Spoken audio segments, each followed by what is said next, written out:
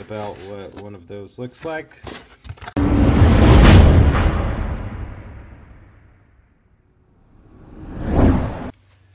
I have a nice new little, well, as you see, it's not really, here, let me show. So this is, um, this is Optiplex 3050. It's one of those really little computers. So uh, it comes with Windows 10 Pro. You only get 4 gigs of memory, which is eh, and a 500 gig drive, i3 processor.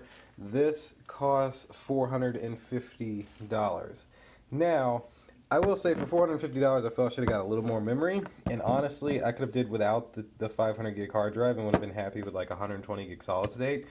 I think they could have still kept it in the 500 range, but that's just my opinion. Alright, so this is it. It has this uh, really thin box. I swear I'm going to get a mount that is that's higher where I can do these really well. But as you see, it's a really thin box, not too big. I have just too much stuff on this table for it. So, uh, scissors over here? Of course I don't. One second. I don't have scissors anywhere, so that's that's when you resort to a pin. Easy and don't have scissors. And, and then your pin don't work, so then you resort to your keys, which is what you should have thought of the first time. Oh. Well, I thought it'd be like a way cooler unboxing than that because of how they made this thing look. But maybe I was wrong to think that. Okay. Eric uh, Dell keyboard. I think everybody knows about what one of those looks like. There we go. Look at this thing. Regular Dell mouse. Uh, power cable, which looks like, yep, other half goes to the power brick. Paperwork. No, nobody needs that crap. No, nobody needs that either.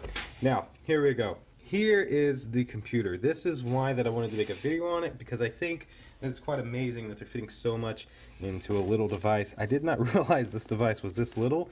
Before I take this out, let me show you this standard uh, DVD rewritable case here. Just barely bigger. I mean, you know, if you put it there, it looks a lot bigger. But it's, it's you know, a little bigger than a CD case, which is amazing. Screwdriver's the size of it diagonally almost. Black & Decker with all kinds of stuff in it. Just the same size as that, basically. Not too bad. I think it's quite amazing that it's so little. Let's take it out of here, though. Wow. Wow. You have a headphone jack here, and uh, your USBs, of course. That's your little hard drive light and your power button. Um, there's likely a little fan in this thing. On the back here, we have USB 2 ports, two of them, two more USB 3 ports like we had on the front, HDMI and a display port, and then of course a great network connector. 7th gen Core i3. This thing is, uh, it's little. Like I'm, I mean it is, it is definitely small. I mean like if you really look at it, this is the power brick I mean, the power brick is like almost the same thickness as the whole freaking computer. Now, this is great for uh, if, if you have a customer that doesn't have a lot of room and they need a computer. They make these in i5s, they make them in i7s, more memory, they make them with solid states. They make them in every kind of configuration that you can possibly think of. And I mean, as you can see, you'll save a ton of space, like an absolute ton of space. Let's get this thing hooked up.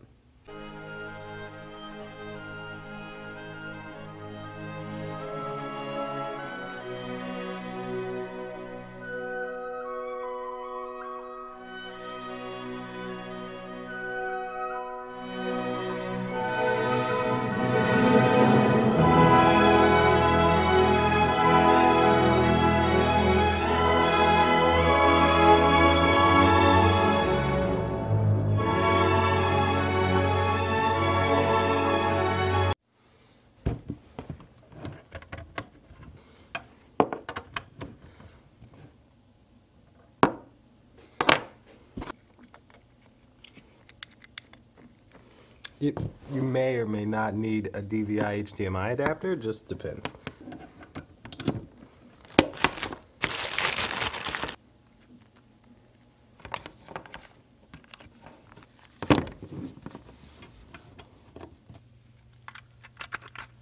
All right, now, like I was saying, you may or may not. Sorry for the sun here. The sun is destroying me. That's why I had it over here in the other corner. You may or may not need this adapter back here. I needed that because I have a KVM switch over here. So, yeah, it, it works easier. Let's power this thing on, though. Let's see if it's quiet. Can you hear it? I can't even. Is it on? It's on. I saw a flashing light. You can see the hard drive light moving, and we have a Dell screen. So it's on. It is ultra quiet. So now I'm going to go through the normal setup, creating my user, yada yada yada, getting signed into Windows, and then we'll see how this thing actually. We will see how this thing actually performs.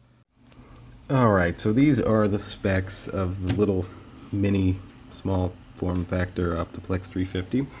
As you can see, we my bad, I accidentally launched Edge. Windows 10 Pro, which is great.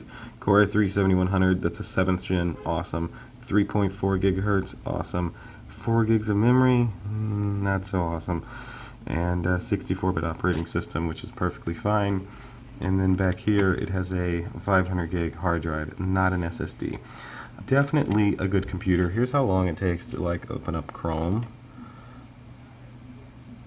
so it's about three seconds there two three seconds not bad.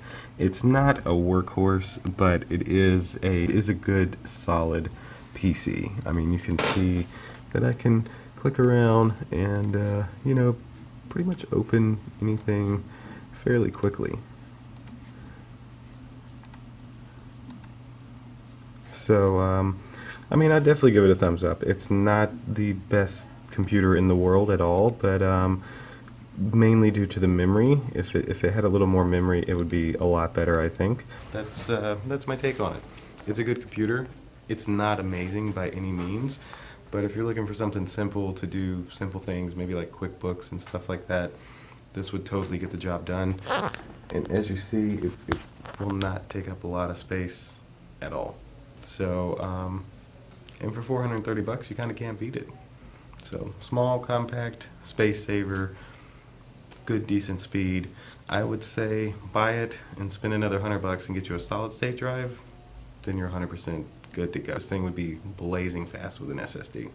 That's my little unboxing and review of this Optiplex 3050 small micro form factor PC, whatever they're calling them nowadays.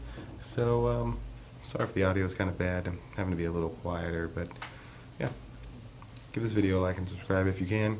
And I will see you guys and gals tomorrow or the next day. Have a good one. Deuces.